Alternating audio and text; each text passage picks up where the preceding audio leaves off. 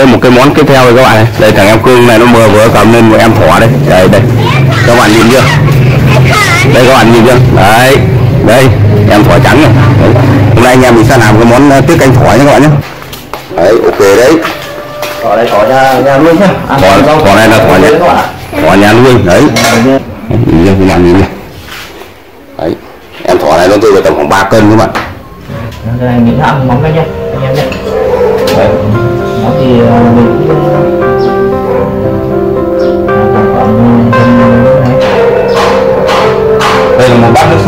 ờ, chai mắm này bây giờ mình sẽ đong làm sao cho nó đủ cái lượng ờ, mắm để mình hãm con ờ, thôi các bạn. Đấy. con này nó rơi mấy cân nhỉ? Con này nó vào tầm 3 cân các bạn đấy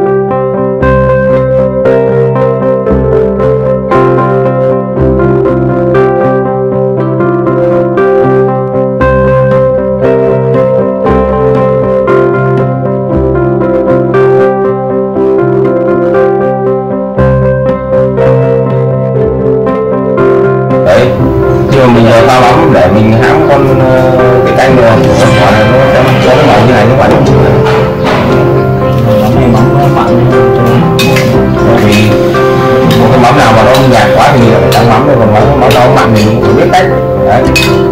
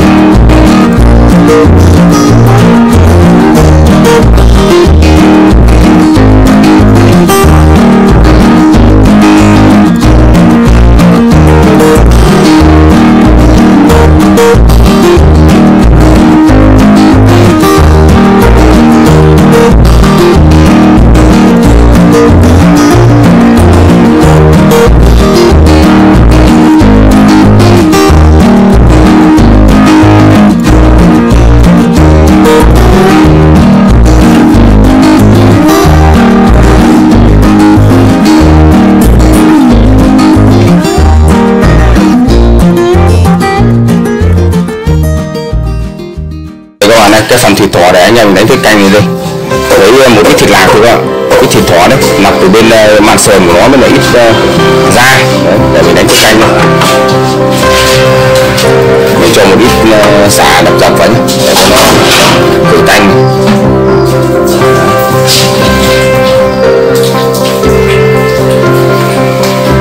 cho một ít nước vào đó chuẩn đấy. Rồi bây giờ bắt đầu mình sẽ nấu. Bật bật lên này mình sẽ nấu chín cái ờ, thịt này lên, nó bắt đầu mình sẽ đi chế biến tiết canh.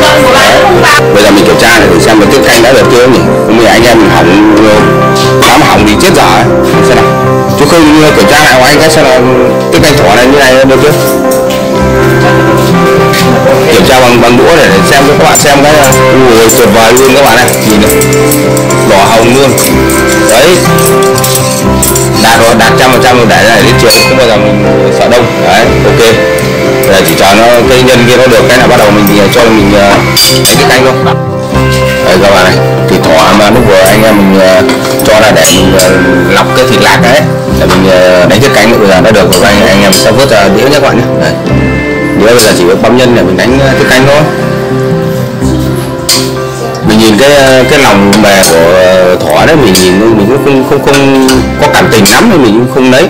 Mình chỉ lấy ờ, cái phần thịt đùi cũng như là cái thịt bên mặt sườn của nó thì nó để mình ờ, sử dụng để nguyên liệu đánh cái canh. Dạ, các bạn sạch sẽ ăn cho nó đảm bảo. Đúng không đấy thế thôi. Đấy coi như xong. Đây các bạn nhìn này. Tiết đây. Quá hồng và đẹp luôn. Đấy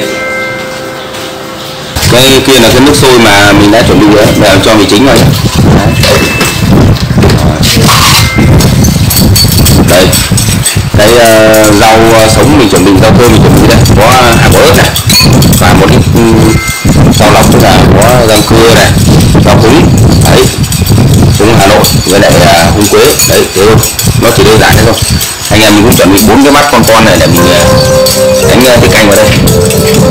Nói chung là nhà mình cũng ít người cũng chỉ ăn. Tốt thôi không cần nhiều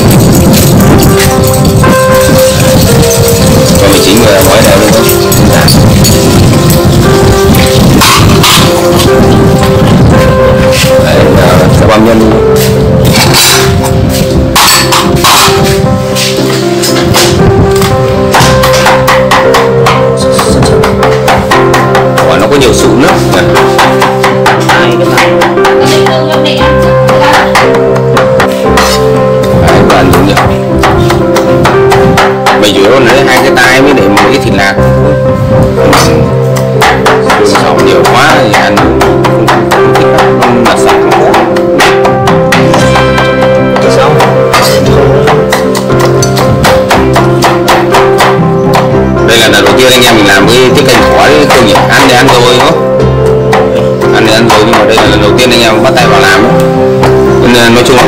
là có những cái uh,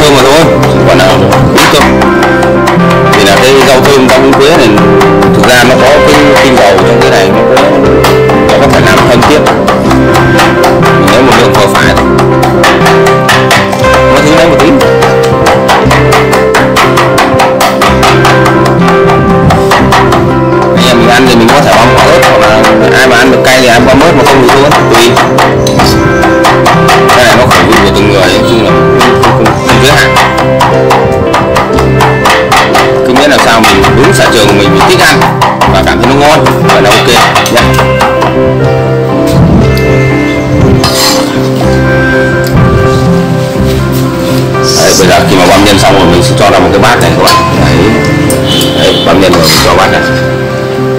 Bát này sau đó nát mình cho thêm mấy rau thơm vào nữa. Là xong thế thôi.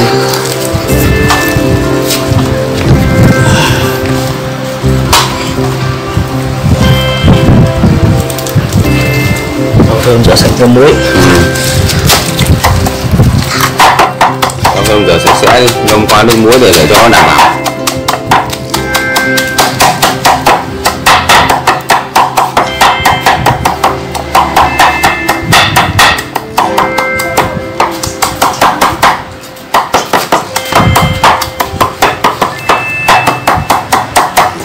tiết canh nó mát. Tiết mát. canh mát rất là mát. Với lại cái món tiết canh này cũng rất là nhiều người thích ăn. Món này món đặc trưng của Việt Nam mình rồi. Cái món tiết canh này nó là một cái món gọi là không phải là ai cũng ăn được đâu. Đây nó được liệt vào cái món ăn kinh dị đấy các bạn. Nhưng mà với người dân Việt Nam mình thì nó lại là quá quá là ngon. Thì là mình cứ biết xuất xứ rồi nó ngon. Nhà rồi thỏ thỏ nhà nuôi rồi. rau nó sạch sẽ. Thỏ này là thỏ nhà nuôi mà toàn là củ quả không chẳng có cái chỗ đi trắng trắng hay là con cái thuốc hoặc là cái gì cả rất là sạch sẽ. Với cái chỗ nào thôi mắm một quả ớt rồi mắm một quả ớt là cho nó cay cay ra nó ngon ăn gì đấy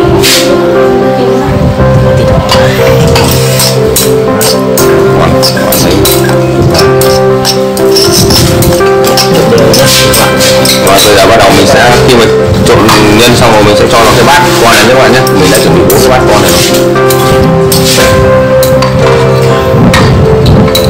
Mình cũng dùng bốn cái, bốn bát này. Ăn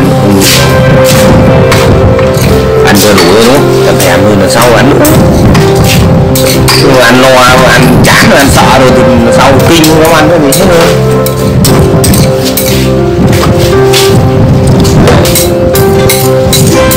em lấy cái cái mùi em cắt lấy cái con tổng nhân. Con đặc biệt ngon.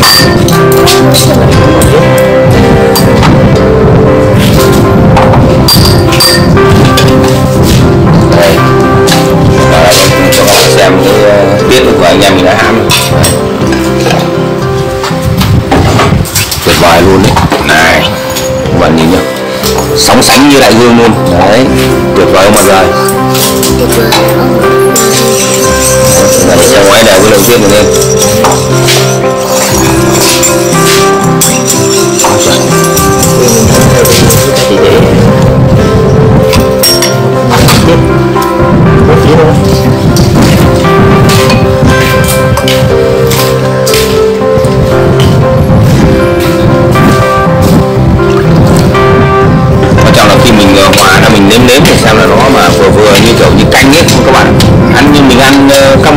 thường khẩu vị bình thường thôi. Không đừng mặn quá mặn quá thì nó không, không ngon. Đấy. Vừa thôi. Cái đều luôn là được. Vì nó có nhiều ờ, nhiều tiết thì mình cứ đánh cho luôn hẳn nhân đi càng ngon. Đấy. Cái màu tiết đỏ hồng nhỉ. Cái đỏ hồng thế. Anh em có đánh không? Của nó là chắc ok chuẩn luôn đấy